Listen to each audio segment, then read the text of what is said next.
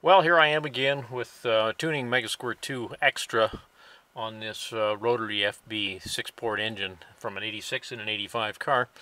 Um, got to start it up. A little bit of playing around. We've we've gotten farther with the tuning. Uh, we had an issue with uh, the spark and with the crank angle sensor.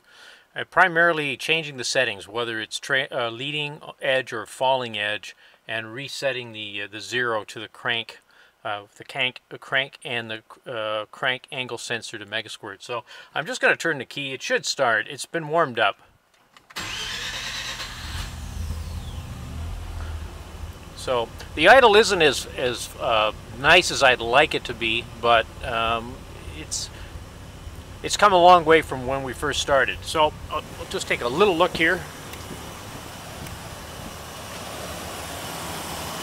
You can see the engine's got a little bit of a dance in it.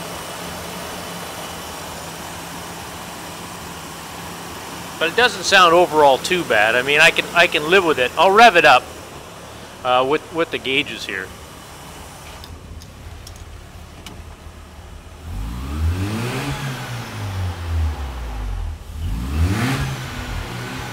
Now, if you watch this one here, that's that's the port valves. When the port valve in the secondaries, but you got to you got to stab it pretty hard for it to, to work.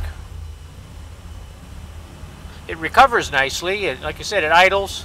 Uh, it's just settling down back into the idle, but it seems to be okay. Uh, we took it out for a drive the other day, and it was impressive. It was starting to pull pretty good. We got a couple lumpy spots there because it's a little too rich, and for some reason I cannot get the exhaust gas uh, correction to, to, kick in or, or, at least to show. Maybe it is working but it's just not registering on the needle when I put it on the VE table. Anyways, um, we're making progress and it's it's been a, a fun project.